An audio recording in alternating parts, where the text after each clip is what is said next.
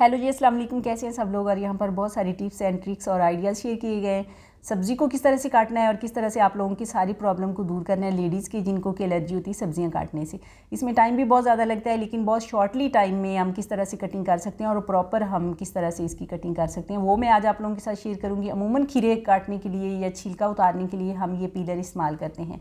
Pillar बाजुकात काम करना छोड़ जाते हैं और पीलर का एक बड़ा नुकसान है कि इसके छिलके जो होते हैं ना, वो भी मोटे मोटे उतरते हैं। आज हम घर में हैंडमेड एक पीलर बनाएँगे, जैसे कि सिरप की खाली बॉटल होती है ना, उनका आपने कवर ले लेना है, ऊपर वाला कैप जो है ना, वो आपने उतार लेना है। ये जो हम पीलर बना रहे हैं बिल्कुल नो कॉस्ट है और इसका रिज़ल्ट जो है ना, वो उस वाले पीलर से हंड्रेड परसेंट आप लोगों को ज़्यादा मिलने वाला है और टाइम भी इसमें बहुत ज़्यादा कम लगता है। और आप देखिएगा कि इतना अच्छा ये पील करता है ना। किसी चीज़ का भी आपने छिलका उतारना हो, आपने इसका खीरे का उतारना हो, आपने बैंगन का उतारना हो, आपने कद्दू का उतारना हो या आपने तोरी छीलनी हो तो आपने ये वाला जो हैंडमेड पीलर है ना, जो हमने जुगाड़ लगा के बनाया हुआ है ना तो ये आप आजमा सकती हैं। इससे आपको यकीन करें कि इतने अच्छे रिज़ल्ट मिलेंगे कि आप हैरान रह जाएँगे कि इतना बरीक और इतनी थिन सी लेयर इसकी उतरेगी ना कि सब्जियों की जो विटामिन या कैल्शियम उसमें पाया जाता है ना, वो बिल्कुल भी इसमें ज़ाया नहीं होगा, इस वाले पीलर से छिलका बहुत ही ज़्यादा बरीक उतरेगा। तो इस तरह की बहुत और भी बड़ी अच्छी अच्छी किचन वाली टिप्स मैं आपके साथ शेयर करूँगी। इसी वीडियो में, वीडियो के साथ आपने जुड़े रहना है, वीडियो को आपने स्किप नहीं करना, वीडियो को पूरा देखना है, एंड ताकि इंशाल्लाह आप लोगों को बहुत अच्छी अच्छी टिप्स मिलेंगी। अब जबकि हमने इसको पील कर लिया है सारे छिलके को काट, अभी हमने खीरे को, की कटिंग करने का जो तरीका है ना, आपके साथ शेयर करने लगी इस तरह से आपने हाफ़ करना है और फिर इसको कटिंग करना है। इसका रिज़ल्ट जो आपको मिलने वाला है ना, वो ये है कि इस कीड़े, खीरे के अंदर जो होती है ना कड़वाहट, वो बिल्कुल भी ख़त्म हो जाएगी। जब आप काटते हैं ना खीरा तो आप नमक लगाते हैं और उसकी कड़वाहट दूर करते हैं। लेकिन आज के बाद आपने इस तरह से सेंटर से खीरे को कटिंग करना है तो इसकी जो कड़वाहट है ना, वो बिल्कुल ख़त्म हो जाएगी। नेक्स्ट टिप हमारे पास आलू है, आलू को भी हम पील ऑफ़ करेंगे और देखिए इसी जुगाड़ के साथ जो हमने बनाया ना पीलर इसी के साथ हमने आलू का जो छिलका है ना, वो इतने आराम से उतार लिया है कि इसमें टाइम की भी हमारी बचत हुई है और छिलका इतना ब्रीक उतरा है कि आप देख के हैरान रह जाएँगे। आप इस ट्रिक को इस टिप को ज़रूर आजमाइएगा और मुझे फीडबैक ज़रूर दीजिएगा। जो भी टिप आप लोगों को अच्छी लगे, जो आसान लगे, उसको ज़रूर अपनाइएगा। आगे भी बहुत अच्छी अच्छी टिप्स है इस वीडियो में सब्ज़ी को लेकर के। इसलिए वीडियो को आपने स्किप नहीं करना, वीडियो को पूरा देखना है और इतने आप लोगों के लिए वीडियो बनाते हैं टाइम निकाल के तो प्लीज़ वीडियो को लाइक कर कर दीजिएगा। और जो भी नए हैं सब, मेरे चैनल को सब्सक्राइब ज़रूर कर दें। तो इससे हमारी हौसला अफजाई होती है, अगर आप प्यारा सा कमेंट्स भी नीचे कर दें कि कौन कौन से आइडियाज़ आप लोगों को मेरे अच्छे लगे हैं। तो ये देखें आलू को हमने अच्छी तरह से पील कर लिया। इसका अगर हम छिलका देखें तो छिलका इसका ना होने के बराबर उतरा है। देखें, अभी मैं आपको दिखाती हूँ, ये देखें।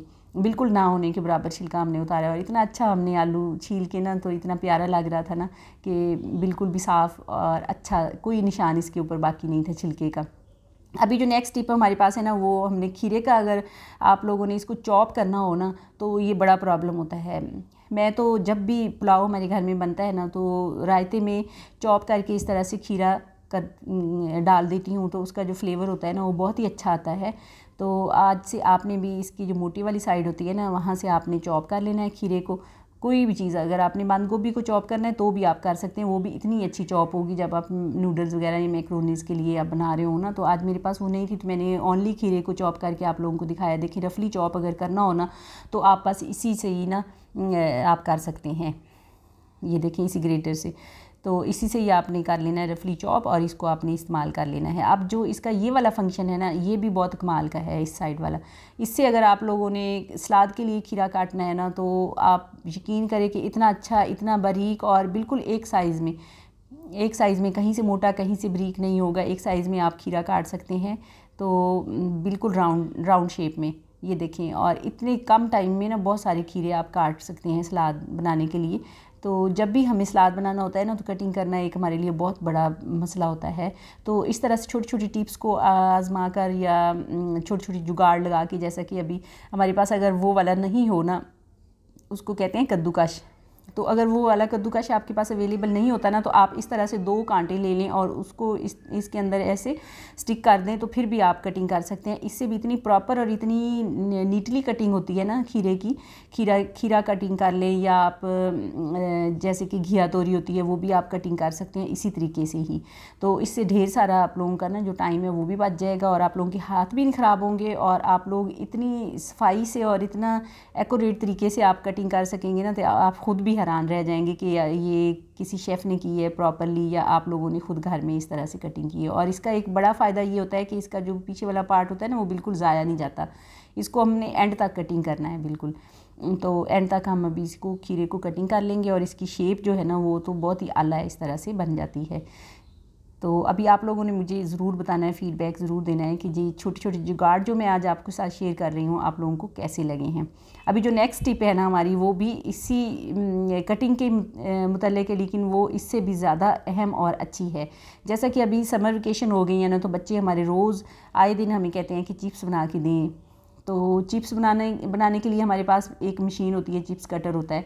अगर वो नहीं आपके पास अवेलेबल ना, ये है तो इससे तो इतनी अच्छी कटिंग होती है ना, ये देखें इसके पीछे जो ब्लेड लगा हुआ ना, उसके अंदर वही सेम डिज़ाइनिंग बन जाती है, जो कि हम बाज़ार से लेज़ लेते हैं ना। और उसके अंदर ऐसे डिज़ाइनिंग सी बनी हुई होती है ना, उसी तरीके से इसकी जो चिप्स कटिंग होगी, आलू की तो वो आप हैरान रह जाएँगे। और इतनी आसानी से आप लोग इस, इसको काट सकेंगे ना आलू को तो इतने ब्रीक ब्रीक कटले बनेंगे इसके, कि बच्चे जो है ना वो खुश हो जाएँगे देख के। आराम से ये फ्राई हो जाएँगे और इतनी अच्छी सी शेप में बनेगी चिप्स की आप लोगों को मज़ा आ जाएगा। मेरी इस टिप से आप लोग भी फ़ायदा ज़रूर उठाइएगा। तो अभी मैं इसको क्लोज़ करके दिखाती हूँ। इसके अंदर ये देखिए, ऐसे ना डिज़ाइनिंग सी बन जाती है लंबी लंबी जो इसकी ब्लेड के अंदर है।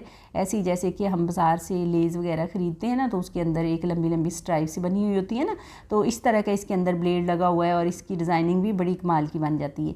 अभी जो हमारे पास नेक्स्ट टिप है ना, अगर आपके पास ये अवेलेबल नहीं है तो इसके जगह पर तो इसकी ऑल्टरनेट आप लोग क्या इस्तेमाल कर सकते हैं कि वही जो हमारे पास है ना वो कद्दूकश तो उससे भी आप ये काम ले सकते हैं।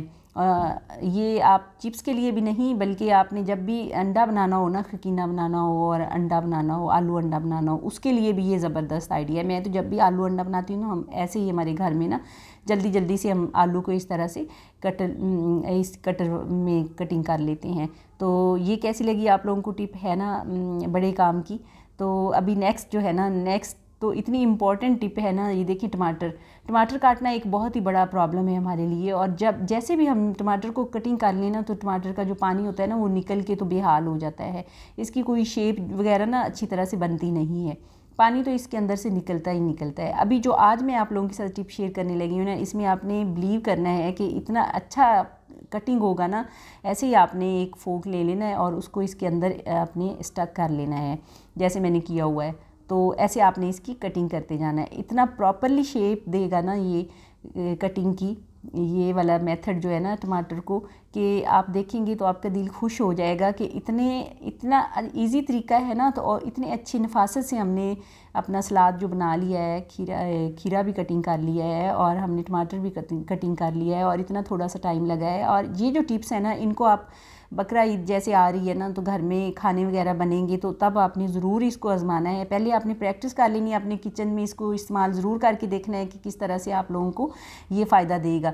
आराम से आप लोगों ने कटिंग कर लेनी, पानी वगैरह इसका कुछ भी निकलेगा शेप इतनी अच्छी बनेगी कि आप खुद देख के खुश हो जाएँगे। अगली जो हमारे पास टिप है ना तो वो है प्याज को लेकर के। प्याज को हम जितना भी हम नीटली काटें ना तो इसके जो छिलके हैं ना, वो इधर उधर फैल जाते हैं, गंद मच जाता है। किचन में हम कटिंग करें तो फैल जाते हैं। अगर हम टीवी लाउंज में बैठ के कटिंग करें, जैसे कि अभी गर्मियाँ हैं तो गर्मी बहुत ज़्यादा लगती है हमें किचन में ना तो हम टीवी लाउंज में अगर कट कटिंग इसकी करते हैं तो पंखे के नीचे तो इतना बेहाल हो जाता है ना कि हर तरफ़ इसकी बरीक से छिलके जो है ना, वो फैल जाते हैं। तो हमारी अम्मी क्या करती हैं कि वो इस तरह से पानी ले लेती हैं और पानी के अंदर इनको डिप करके रख लेती हैं और जब इसके छिलके थोड़े नरम हो जाते हैं, वो आराम से उतर जाते हैं और वो बिल्कुल उड़ते भी नहीं हैं। अच्छा जी, जब इसकी कड़वाहट आँखों में पड़ती है ना तो ऐसे इसका जो सख्त वाला पार्ट होता है ना, वो छुरी के आगे इस तरह से लगा लेने से जो इसके कड़वाहट निकलती है ना, वो भी ख़त्म हो जाती है, जो कि हमें ऐसे खाम खामे हमारे आँसू निकल रहे होते हैं ना, बिना किसी गम के तो इनको वो कंट्रोल करेगा। तो इस तरह से आप भी छिलके इसके उतारिएगा और इस तरह से अगर आप उतारेंगे ना तो आपको बहुत इतमान मिलेगा। मतलब आपका जो डर्टी नहीं होगा, घर नहीं होगा, किचन नहीं डर्टी होगा और आपके प्लस के आँखों में जलन नहीं होगी तो आँसू नहीं निकलेंगे। तो बस ये इस तरह से आपने इसकी जो प्याज की छिलकी उतार लेनी है। अभी नेक्स्ट टिप जो है, इसको कटिंग करने की। इसको कटिंग हम कैसे करेंगे? करने के लिए हमारे पास इस तरह के ग्रेटर होना चाहिए। ये ग्रेटर आम घरों में इस्तेमाल होता है और हर घर में मौजूद होता है।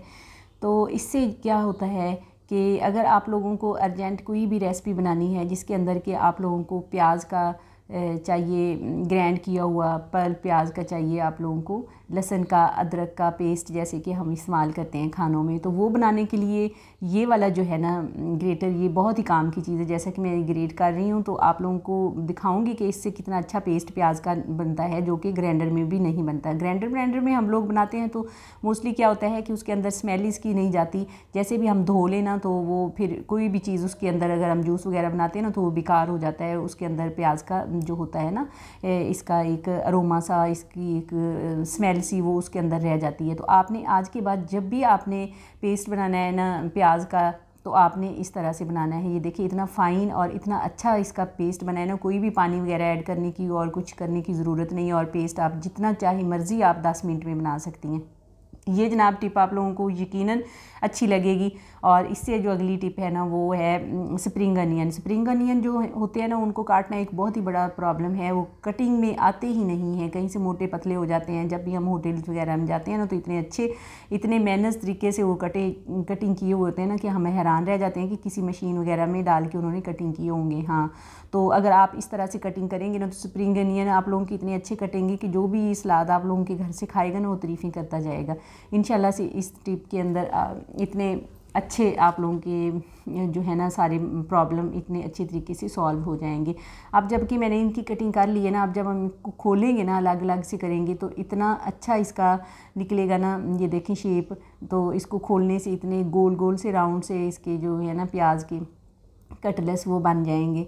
तो इनको जब आप इस्तेमाल करेंगे ना तो आपका दिल खुश हो जाएगा और इतना अच्छा जुगाड़ लगा के ना तो हमने इस तरह से स्प्रिंग ऑनियन जो है ना वो काट लिए हैं। तो पिछली वीडियो में जिन लोगों ने मेरी वीडियोस के नीचे कमेंट्स किए थे अच्छे अच्छे अच्छा जी अब बहुत ज़्यादा शुक्रिया। अदा करूँगी जिन्होंने मेरी जिनमें सबसे पहले फरजाना और आप लोगों से भी रिक्वेस्ट है कि अगर कोई भी आइडिया मेरा अच्छा लगे पसंद आए आप लोगों को तो आप लोग भी मेरी वीडियो के नीचे कमेंट्स करिएगा इससे हमारी हौसला अफजाई हो जाती है और हमें बहुत ज़्यादा खुशी मिलती है जब आप लोगों के प्यारे प्यारे कमेंट्स आते हैं। तो अभी देखिए, अभी जब हम बनाते हैं ना हलीम वगैरह तो हमें जो है ना डालियाँ इसकी चाहिए होती है ब्रीक, बरीक ना उनको हम करते हैं, घी में जब फ्राई करते हैं या वैसे सालन में बनाने के लिए प्याज कटिंग करना होते हैं ना तो आँसू निकल रहे होते हैं और प्याज जो है ना, वो कटिंग करने से हमारे हाथों पे अच्छी नाइफ़ से ना लाइनें बन जाती हैं। तो आपने क्या करना है, आपने इस तरह से दो फोक ले लेने हैं, उनको ऐसे इसके अंदर एडजस्ट कर लेना है प्याज के अंदर और इतने अच्छे इस तरह से प्याज कटेंगे ना कि इतने अच्छे तो किसी चॉपर में भी नहीं कटेंगे, जैसे इसमें कटेंगे। अभी आप देखिए देखिएगा इसका फाइनल रिज़ल्ट जब मैं आपको दिखाऊँगी ना, इतनी अच्छी इसकी डालियाँ बनेगी ना एक तो उनकी शेप ख़राब नहीं होगी और दूसरा ये है कि आप लोगों के हाथ ख़राब नहीं होंगे और थोड़े कम टाइम में आप बहुत ज़्यादा प्याज काट सकते हैं इस तरह से। ख़ास तौर पर जब कुर्बानी आ रही है ना तो इन टिप्स को आप आजमाइएगा ज़रूर और मुझे फ़ीडबैक ज़रूर दीजिएगा और मेरी वीडियो को लाइक ज़रूर करिएगा और नीचे प्यारे प्यारे कमेंट्स ज़रूर दीजिएगा। नेक्स्ट मिलेंगे किसी और वीडियो के साथ। तब तक के लिए अल्लाह हाफिज़, दुआओं में याद रखिएगा।